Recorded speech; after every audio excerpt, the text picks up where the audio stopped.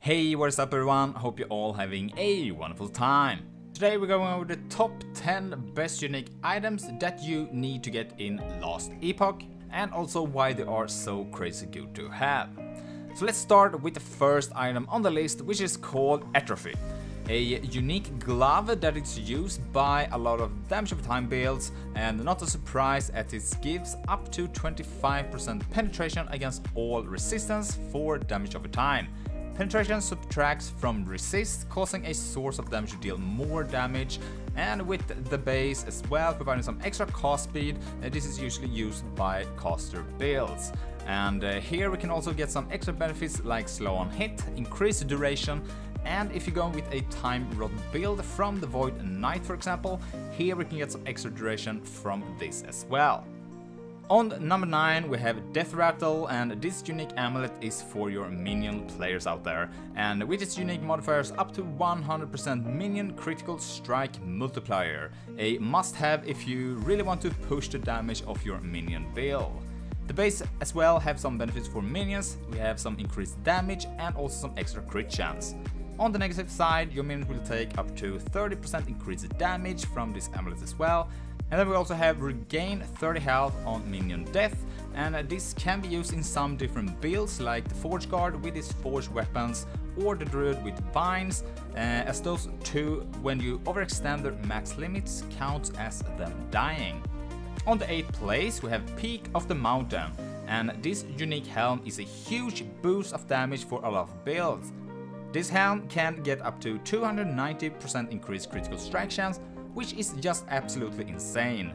In some cases, you will only need this helm to get yourself to 100% crit chance, which open up a ton of free modifiers on the rest of your items. The downside of the item is that you cannot leech health from critical strike chance, which is usually the two main things you want to go for for your build to really shine, which is crit and leech. Uh, however, there are other ways to sustain your life, some builds use regen, like with the Shattered Lance set, or if you may be going with Ward as your main source of defense, uh, this helm can be a huge addition for your build. It's also really easy to target farm this as it's the most common drop from the end boss in Lightless Arbor dungeon. On number 7 we have uh, Frostbite Shackles and these gloves are mainly used for builds using Frostbite as their main damage source but the really nice thing here is uh, going to be the 1% ward retention per 1% uncapped cold resist. In uh, Last Epoch we have Ward, which is a temporary magic shield that protects your health. And uh, this is also decaying slowly and Ward retention makes this decay uh, go even slower. As an example, if you have 200% ward retention, this will cause our ward to last twice as long. Uh, 400 retention is three times as long, and so on. And with these gloves we can get tons of cold resist to boost this number up. Uncapped cold resist means all that are above the max, which is at 75%. And the gloves also opens up a lot of different build options if you want to go for a ward as your main source of defense for classes that not usually have any source of ward retention, uh, like the Primalist or the Sentinel for example. On number 6 we have Throne of Ambition and this is a unique idol which is basically used for any fire or cold damage build. From this we gain a stack of ambition when you hit a boss or rare enemy and for each of these stacks we get 2% more damage for fire and cold and also 2% armor uh, as well for some extra defense. We can have up to 20 maximum stacks of ambition, which will grant us a total of 40% damage and armor in total, uh, which is really really great. The reason why this is strong is from the more aspect of this item as it multiply your damage. Different sources of more damage also multiply off each other, so you can't really have enough of it. You will lose all stack of ambitions if you go 4 seconds without getting a stack, so being a fast build do help out here a, a bit of maintaining your stacks as there is a 1 second cooldown on gaining a stack and uh, lastly, having multiple of these idols do not stack with each other, so getting one is uh, going to be enough.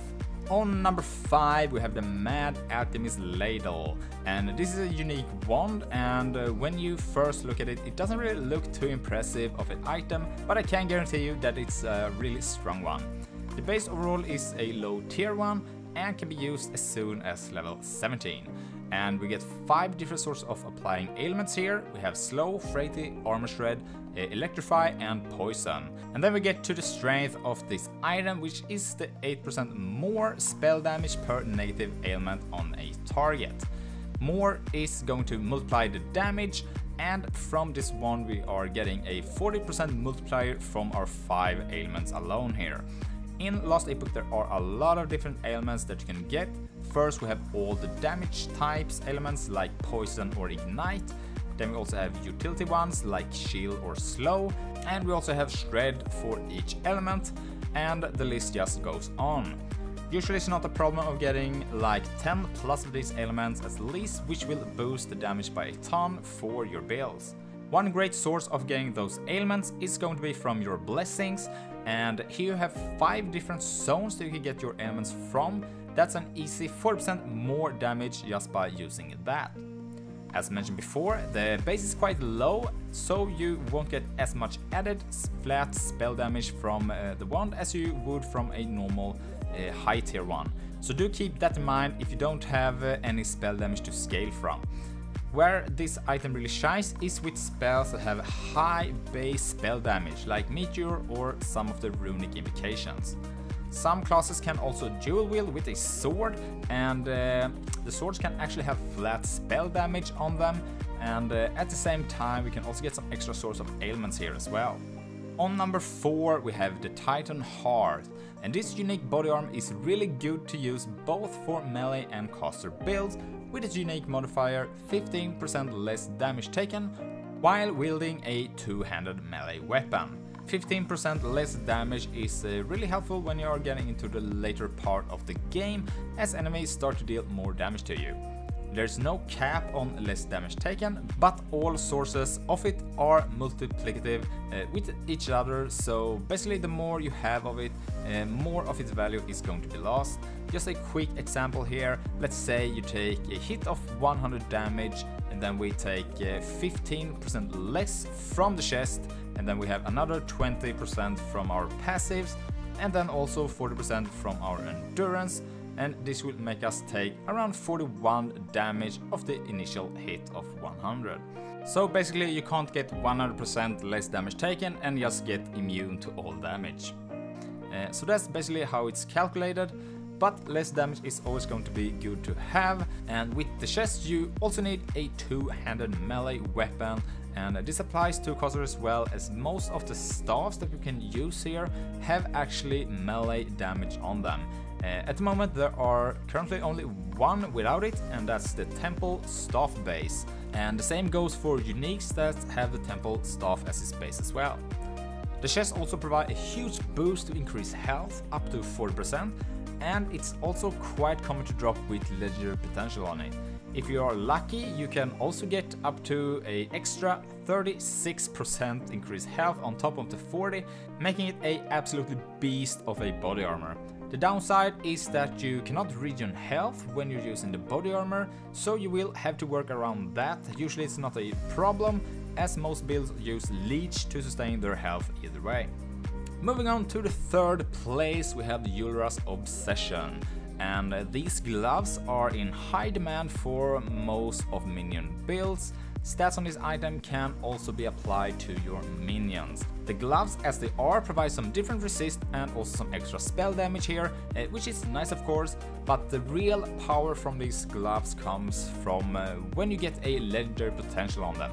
The gloves when they drop is uh, always guaranteed with at least one LP on it, uh, with a chance of more of course, but that's quite rare. Some of the more normal stats that you want to go for here is going to be attack or cast speed, critical strike chance, and also the one that stands out is going to be chance to shred armor on hit. And uh, why is this so good you might ask? Well, how armor works in Last Epoch is that it's mitigate the damage you take from all hits. and when we shred armor on enemies, it will reduce the armor by 100 per stack on that target, which will make us deal more damage. When we combine this with the gloves, this will now also apply to our minion hits. Builds like wraiths or squirrels, where we have a lot of minions out and they usually deal damage quite fast, we can get hundreds of armor stacks within seconds, which is really really good for us. On the second place we have the Bleeding Heart Amulet. And the power of this amulet is no joke, and I'm almost always using this on all of my builds while leveling up at least. With its unique modifier up to 9% of damage leached as health, this is really huge and helps out a lot with survivability for tons of builds. And uh, this modifier also leaches from damage over time effects as well, which is quite rare to get. It's usually used for melee or throw builds, as we get some of the attack speed from the base here itself, but it's quite uh, common to use as a build as well. The Bleeding Heart will inflict you with bleed stacks when you cast a spell, so do keep that in mind. However, a lot of builds do have ailments removal to counter this, or it's just leeching so much health that you won't even be noticing the bleeding. And this works great as a leveling item as well as it does for the endgame with its low effective level of legendary potential which makes it quite common to drop with more than one LP on it so you could add some more modifiers that your build needs and it also drops quite frequently as well. And lastly, the number one item that you want to get in Last Epoch is going to be the Twisting Heart of Ukros. If you played Last Epoch before, this will probably not be a big surprise for you. The unique relic is really one of a kind. First of all, so much modifiers that benefit basically any caster build. The base alone gives up to 20% increased health. It got cast speed, plus 1 to level of necrotic and also elemental skills. And then we have a percent of current health convert to ward when you directly cast a necrotic or elemental spell. And this is really strong when you combine this with the damage leech as health, like the Bleeding Heart Amulet for example, uh, that we previously mentioned. We also have Prism Wraps or the Burning Avarice as another leech source from a item. You can also go with the Hungering of the Void Blessing from the Black Sun timeline, which gives up to 5% of spell damage leached as health. So by using the relic, this will convert a percent of health to ward and then leech back life from another source and with this loop will generate tons of ward as defense for us. And this item is basically a must have for any caster build. As a bonus item, I would like to add Ravenous Void on the list as well, and these are a pair of gloves that are quite unique and can be really powerful. Uh, the base alone gives a lot of defense with armor, vitality and increased health, and on top of that we also have additional layers of defense with uh, less void damage taken, up to 15% physical damage taken as a void, and some flat endurance. And where these gloves shine is uh, for its modifier that grant us a stack of Void Barrier every 5 seconds while above Endurance threshold. Each of these stacks makes us take 5% less damage for a total of 15% here and the same as mentioned earlier with the Titan Heart, this is going to be multiplicative with other modifiers. Dropping below your endurance threshold doubles all stack of Void Barrier for 3 seconds, allowing you to exceed the normal maximum. After that, all stacks of Void Barrier are converted to Mimic Feast, and each of these feasts deals 200 void damage over time to you per stack and will disable Void Barrier generation and also Health Leech, which is going to be the negative side of this item, but this counts as a ailment and therefore can be cleansed as well, so that's a must have if you are going to use this item. If you don't have any removal on your build, using a ailment cleansing on potion use on your belt will do the trick here. The class that usually use this item is going to be the Void Knight, as it's get the damage from Vitality and more specific used mostly for the Auto Bomber build. These gloves are very rare to drop and that's why I didn't want to put them on the tier list but I thought they were absolutely worth of mentioning.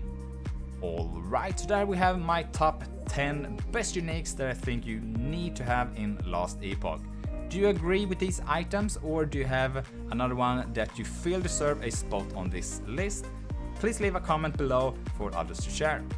Thanks for watching, don't forget to like and subscribe if you found this video helpful. And with that said, I'll see you in the next one. Bye!